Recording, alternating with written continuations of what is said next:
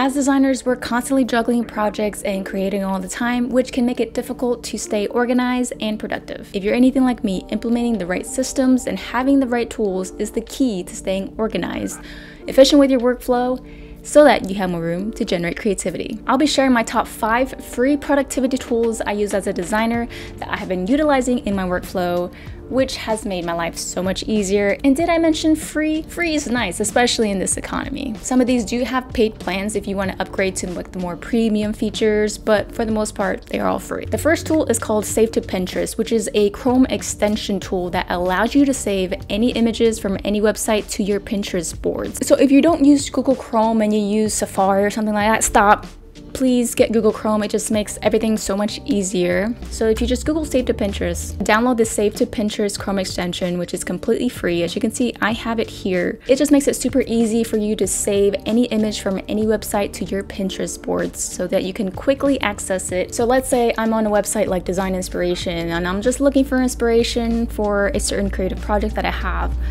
let's say I want to go into 3D typography and I'm scrolling and I'm like, ooh, I love this image right here. I actually want to save it to my Pinterest board, when you hover over an image, it'll have a little button that allows you to save it. You can save it to any one of your Pinterest boards or create a new board and then it'll automatically save it. So next time I'm on Pinterest, I already have this image saved. Normally, if you're on a website like this and you want to save it, it'll ask you to sign into your account or make you create an account. And it's just, again, too many extra steps that I find is not necessary. I love this extension and it just really helps mitigate the steps that I normally would need, such as right-clicking it, saving to desktop, putting in a specific folder, and then creating a mood board folder, and then have to upload those images on a third-party website. So this one, it just takes out all those steps, which I love because it saves me time and keeps me in my creative flow. The second tool is perfect for organization, productivity, and project management for creatives. And no, it is not Notion. But this app, just imagine if Notion and bullet journaling had a baby together.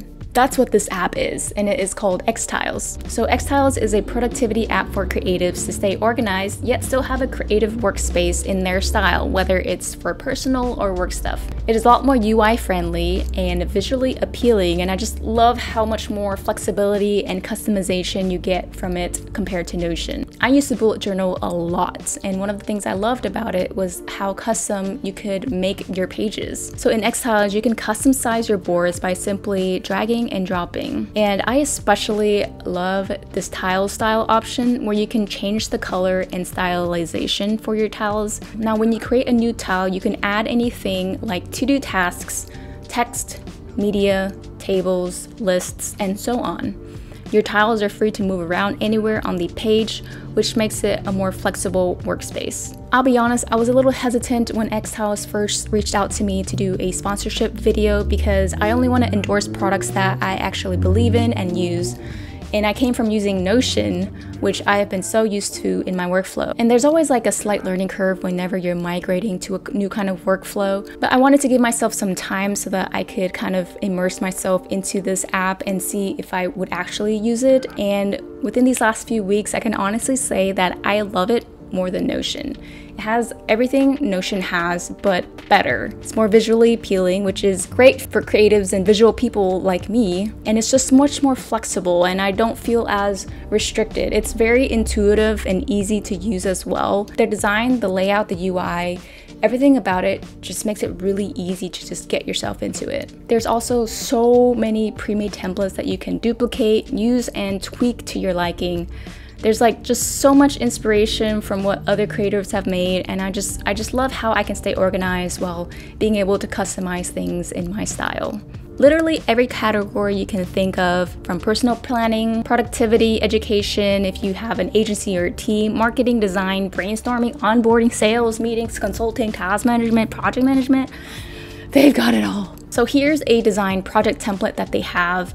And one of my favorite features is probably these color coded tabs up top here, which makes it just easy for you to flip in between different pages, right? But there's a little cool feature with these tabs you can actually group them together. For example, if you're like on Google Chrome, you have like all these tabs open, right? But you can't like really group them together. But this one, you can group them together. I, I think that is such a really neat and cool feature and it makes things a lot cleaner and more organized. And I just love that. Like I said, I'm a very visual person, so having an app like this is so fun and cool to implement in my day to day workflow. And I honestly wouldn't be endorsing them if I didn't like it and believe it in myself. It's been so useful for me, and I hope it'll be useful for you too. Try it out with the link in my description and let me know how you like it. Tool 3 is coolors.co. If you ever have trouble choosing color palettes or even wonder if color pairings you chose are actually the best choices, this website's for you. With this website, you can do anything from exploring color palettes, generating your own palettes, extracting color palettes from images, contrast checking, previewing palettes on your designs, and I didn't discover this until recently, but they have a free fonts section as well. I'd say one of the coolest features that they have is the palette visualizer, where you can see the color palette you chose applied onto design so that you get a better look of what that color palette will look like on websites, illustrations, pattern, logos, icons, all that good stuff. This next one is for all you type enthusiasts or if you ever struggle with finding the right font pairings, this typography resource is for you. FontJoy helps designers choose the best font combinations so that you're able to kind of mix and match different fonts to find the perfect font pairing quickly.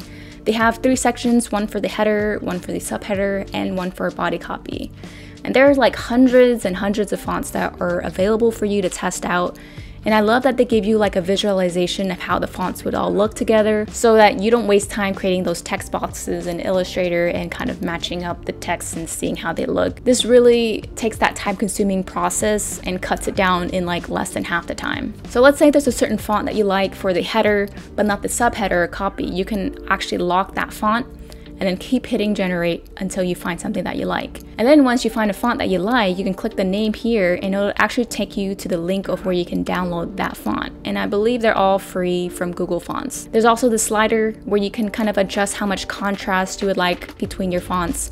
So sliding it all the way to the left for the highest contrast, all the way to the right for little contrast, and in the middle for a balanced contrast. You can also change the text so you can see how your text would look in that certain font. You can also switch from a white to black background. Just really, really cool.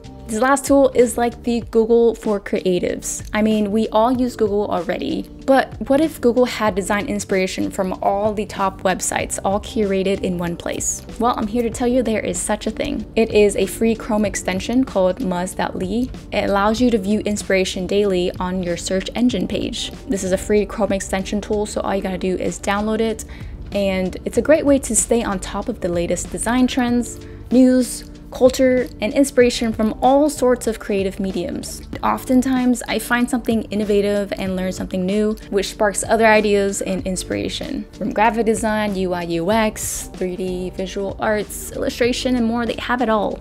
It's also not just images, they have videos on there too. But having everything in one space and not having 10 different tabs open on my Google Chrome has been a really nice addition to staying organized. That about wraps up the five free productivity tools that I use as a designer. Hopefully you guys found a tool that you found useful to use in your workflow and let me know if you have any other tools that other designers will find useful in the comment section below. Thanks for watching, peace.